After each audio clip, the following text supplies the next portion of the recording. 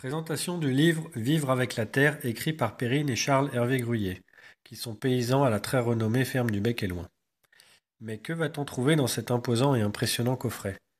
Ce coffret qui se veut être un manuel des jardiniers maraîchers. Je précise tout de suite, ce livre s'adresse à ceux qui sont ou qui veulent être maraîchers diversifiés sur petite surface et dans l'esprit permaculture.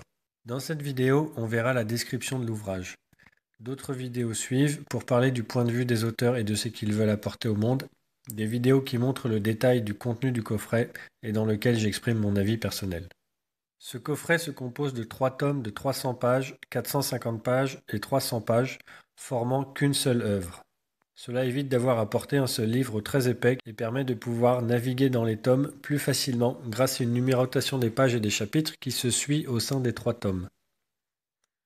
Le livre est un grand format, 24 cm par 32 cm, avec une couverture cartonnée souple, un papier au grammage généreux.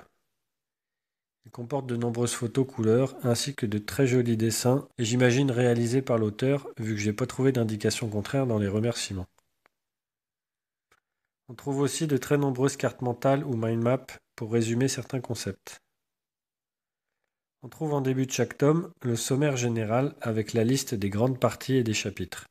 Sur les couvertures est écrit le thème général du tome, et sur les quatrièmes de couverture sont listés les différents sujets abordés. La conception graphique est réussie et agréable à lire. Le texte n'est pas trop petit, l'écriture aérée. Des légendes accompagnent les photos. En marge, on trouve des pensées ou des maximes. On a aussi des définitions ou des petites histoires parfois en bas de page. Le texte renvoie à des notes en fin de chaque tome.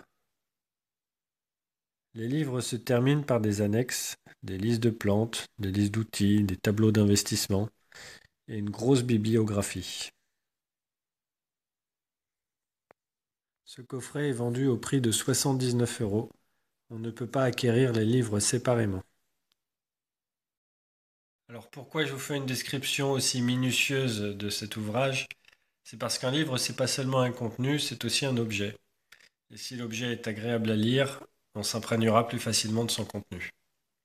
Il ne me reste plus qu'à vous dire à bientôt pour la suite de cette analyse.